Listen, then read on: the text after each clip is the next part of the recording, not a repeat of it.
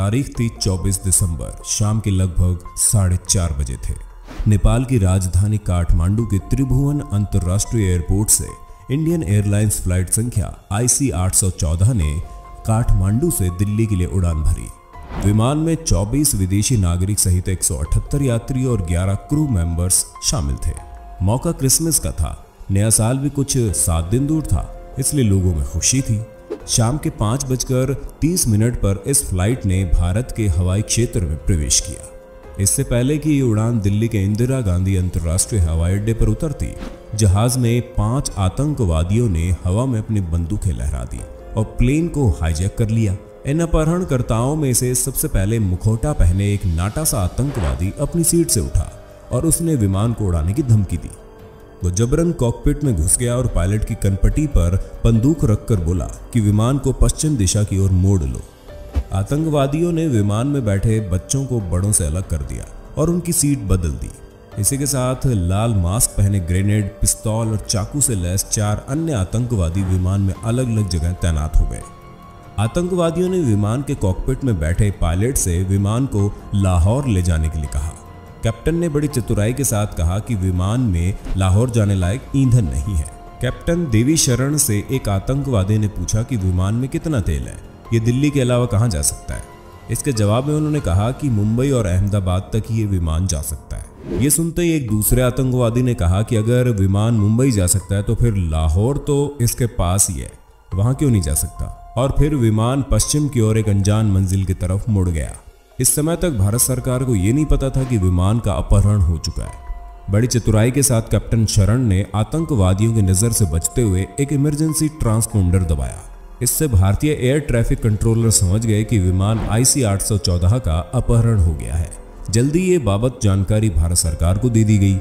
Cockpit में captain आतंकवादियों से इस बात पर उलझ रहे थे कि विमान पाकिस्तान न ले जाया जाए। कैप्टन शरण विमान को भारत से दूर पाकिस्तान नहीं ले जाना चाहते थे।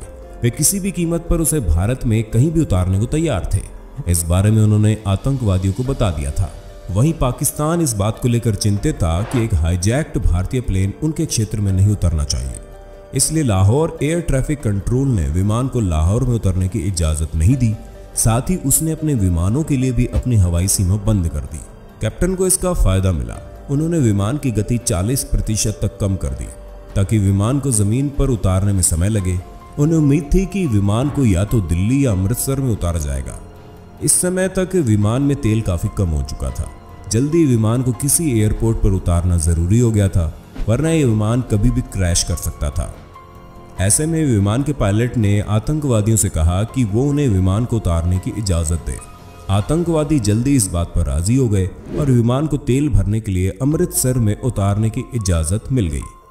लेकिन नई दिल्ली में आगे की रणनीति पर काम कर रहे प्रधानमंत्री की अध्यक्षता वाले आतंकवादी रोधी क्राइसिस मैनेजमेंट ग्रुप ने पंजाब पुलिस को विमान में घुसने की इजाज़त नहीं दी। दिल्ली से उन्हें कहा गया कि एनएसजी की टुकड़ी अमृतसर की ओर निकल चुकी है। उनका इंतज़ार किया जाए। वही विमान में तेल भरने में भी काफ़ी समय गुजारा गया। उम्मीद थी कि जल्द ही एनएसजी की टुकड़ी स्थिति संभाल लेगी। देरी देखकर आतंकवादी भी अपना आपा खो रहे थे। आतंकवादियों को डर था कि भारतीय सुरक्षा बल विमान में घुसने की तैयारी कर रहे हैं।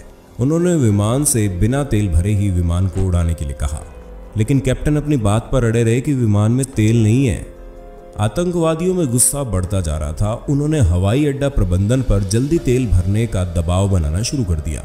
इसके लिए उन्होंने एक यात्री रुपिन कत्याल को बुरी तरह से पेट में चाकू घोंप दिया। रुपिन खून से लथपथ हालत में पड़े थे। विमान के इंजीनियर जगिया इस खौफनाक मंजर को देख काँप उठे। उन्होंने कैप्टन से कहा कि आतंकवादी लोगों को मार रहे हैं। आतंकवादियों ने कैप्टन से कहा, अगर जहाज़ नहीं उड़ा तो वे सबको मार देंगे। जल्दी आतंकवादियों ने यात्रियों को मारने के लिए उल्टी गिनती शुरू कर दी। कैप्टन असमंजस में थे। उन्हें एटीएस से कोई मदद नहीं मिल पा रही थी। उन्हें नहीं पता था कि विमान से बाहर क्या रणनीति तैयार की जा रही है। उन्हें इस बारे में कोई खबर नहीं थी। उन्हें किसी भी तरह से लोगों को बचाने के लिए कोई फैसला तो करना ही था। भारत सरकार के लिए भी ये समय हस्तक्षेप करने के लिहाज से बिल्कुल मुनासिब था। सरकार अमृतसर में ही विमान को रोक कर यात्रियों की रिहाई पर बातचीत शुरू कर सकती थी। लेकिन ऐसा नहीं हो सका। इससे पहले कि सरकार कुछ भी कार्रवाई करती, एक घंटे से भी कम समय में विमान ने दोबारा लाहौर के लिए उड़ान भर ली। हवाई अड्डे पर सुरक्षा अधिकारियों से कहा गया कि बाउजर के साथ स्नाइपर को ले जाकर जहाज़ के टायर को उड़ा दिया जाए, लेकिन ऐसा नहीं हो पाया। बहरहाल, विमान के अमृतसर से उड़ते ही भारत सरकार के पास से अपने लोगों को बचाने का और आतंकवादियों को मार गिराने का एक बेहतरीन मौका हाथ से निकल गया। आतंकवादी इस बार लाहौर में उतरने को लेकर पूरी तरह से आश्वस्त थे। विमान का अपहरण करने वाले पाँचों आतंकवादी पाकिस्तानी थे। इन आतंकवादियों के नाम थे इब्राहिम अतहर, शाहिद अख्तर सईद सनी अहमद काजी, मिस्त्री जहूर इब्राहिम और शाकिर। इन सभी आतंकियों का संबंध आतंकवादी संगठन हरकत उल मुजाहिदीन से था। अब रात हो चुकी थी, जल्दी विमान भारत की सीमा से पाकिस्तान की सीमा में प्रवेश कर गया। पाकिस्तानी सरकार किसी भी तरह से इस विमान को अपने यहाँ उतारने को तैयार नहीं थी। उन्होंने विमान को मार गिराने की चेतावनी दी। लेकिन आतंकवादियों पर इस चेतावनी का कोई असर नहीं हुआ। तब लाहौर एयर ट्रैफ़िक कंट्रोल ने एयरपोर्ट पर नेविगेशन और रनवे दिखाने वाली सभी लाइट बंद कर दी। इससे विमान को लाहौर में उतार पाना और भी मुश्किल हो गया। इधर विमान में ईंधन लगभग खत्म हो चुका था। ऐसे में पायलट ज़्यादा देर तक जहाज़ को हवा में नहीं रख सकते थे। उन्होंने जहाज़ की इमरजेंसी लाइट जला दी और उसे लाहौर में उतारने लगे। अंधेरा होने पर कैप्टन ने जहाज़ की लाइट को मोड़ दिया। उन्हें लगा कि वो लाहौर हवाई अड्डे का रनवे है। जब जहाज़ काफ़ी नीचे आ गया, तब पता चला कि असल में वो एक रोड है। ऐसे में तत्काल जहाज़ को फिर ऊपर ले जाया गया। अब तक लाहौर एटीसी समझ चुका था कि जहाज़ को उतरने की अनुमति नहीं दी गई तो वो क्रैश हो सकता है। ऐसे में लाहौर एटीसी ने रनवे की लाइट जला दी और जहाज़ सुरक्षित नीचे उतर गया। लाहौर एयरपोर्ट के अधिकारी किसी भी तरह से इस जहाज़ से अपना पीछा छुड़ाना चाहते थे। उन्होंने विमान के कैप्टन का यह अनुरोध भी ठुकरा दिया कि जहाज़ में कुछ घायल और बुज़ुर्ग बच्चों को उतारा जाए। आखिरकार एयरपोर्ट से तीन घंटे में तेल भरने के बाद जहाज़ फिर से अपने अनजान सफ़र की ओर निकल पड़ा। अब आतंकवादी चाहते थे कि विमान को अफ़गानिस्तान के काबुल ले जाया जाए। रात में काबुल में विमान उतारने की कोई व्यवस्था नहीं थी। ऐसे में आतंकवादियों ने संयुक्त अरब अमीरात के दुबई में विमान को ले जाने का आदेश दिया। आखिरकार अंधेरी रात में विमान दुबई के रनवे पर उतर गया। यहाँ दोबारा से भारत सरकार के पास एक मौका था। वो कमांडो ऑपरेशन कर यात्रियों को सुरक्षित निकाल सकती थी। इस बारे में भारत सरकार ने दुबई की अथॉरिटी से संपर्क किया और उन्हें सैन्य ऑपरेशन के लिए राज़ी करने की कोशिश की। यहाँ आतंकवादियों ने दोबारा से विमान में तेल भरवाने का दबाव बनाया। ऐसे में दुबई अधिकारियों ने आतंकवादियों को तेल और भोजन के बदले कुछ बंधकों को छोड़ने के लिए राज़ी कर लिया। आतंकवादियों के लिए सौदा बुरा नहीं था। ऐसे में उन्होंने 24 बंधकों को छोड़ दिया, जिसमें ज़्यादातर घायल बच्चे और महिलाएँ थे।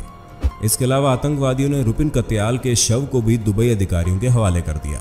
बहरहाल ईंधन भरने के बाद आईसी 814 फिर से उड़ गया। अब तक सुबह हो चुकी थी 25 दिसंबर को विमान अफ़गानिस्तान के दक्षिण में पाकिस्तान सीमा के पास कंधार में उतर गया। जल्दी ही विमान को चारों ओर से टोयोटा ट्रकों में सवार हथियार बंद तालिबानी लड़ाकों ने घेर लिया। तालिबानी उस जहाज़ को भारतीय सुरक्षा बलों से सुरक्षा प्रदान कर रहे थे। उस दौर में अफ़गानिस्तान पर तालिबान का शासन था। वहाँ की तालिबानी हुकूमत दुनिया में अपने नाम का खौफ बैठाने की जुगत में लगी हुई थी। ये मौका उनके लिए बड़ा ही महत्वपूर्ण था। भारत अफ़गानिस्तान में तालिबानी हुकूमत को मान्यता नहीं देता था। ऐसे में भारत के सामने तालिबान ही वो महत्वपूर्ण संगठन था, जिससे अब उसे कोई उम्मीद थी। तालिबान की मंजूरी के बिना भारत अफ़गानिस्तान में कोई भी सैन्य ऑपरेशन शुरू नहीं कर सकता था।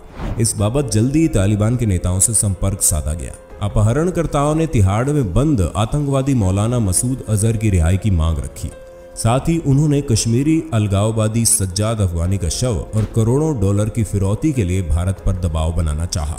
इधर तालिबान भारत सरकार और अपहरणकर्ताओं के बीच मध्यस्थता का काम कर रहा था। उसने भारत सरकार के ऊपर मांगों को जल्दी मानने का दबाव बनाया और उधर अपहरणकर्ताओं से रुपए और शव की मांग छोड़ने की गुजारिश भी की। जल्दी अपहरणकर्ताओं ने सज्जाद अफगानी के शव और रुपए को लेने की अपनी मांग छोड़ दी। हालाँकि वे अभी भी मौलाना के साथ 35 अन्य आतंकवादियों की रिहाई चाहते थे। हालाँकि अभी तक तालिबान केवल विमान को सुरक्षा प्रदान कर रहा था। आखिरकार अपहरणकर्ता अपनी कुछ मांगों से पीछे हटे और बंधकों को छोड़ने पर राज़ी हुए। तत्कालीन राष्ट्रीय सुरक्षा सलाहकार ब्रिजेश चंद्र मिश्रा के अनुसार तालिबान और अपहरणकर्ताओं के साथ बातचीत के बाद भारत सरकार सभी बंधकों की रिहाई के बदले तीन उग्रवादियों को छोड़ने के समझौते पर राज़ी हुई। छोड़े जाने वाले तीन खूंखार आतंकवादियों में हरकतुल मुजाहिदीन का सरगना मौलाना मसूद अजहर था।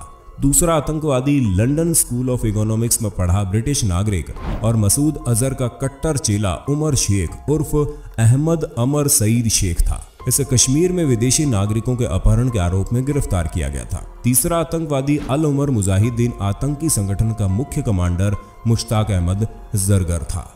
विमान को अपहरण करने के आठ दिन बाद 31 दिसंबर को सभी तीन आतंकवादियों को पहले दिल्ली, फिर विशेष विमान से कंधार ले जाया गया। कंधार पहुँचते ही सभी आतंकवादी एयरपोर्ट पर खड़ी गाड़ियों से रवाना हो गए और इधर आईसी 814 के सभी बंदूकों को छोड़ दिया गया। तो ये थी विमान संख्या आईसी 814 के अपहरण की कहानी। क्या इन आतंकवादियों को छोड़ने का भारत सरकार का फैसला सही था या गलत? हमें कमेंट में ज़रूर बताइए।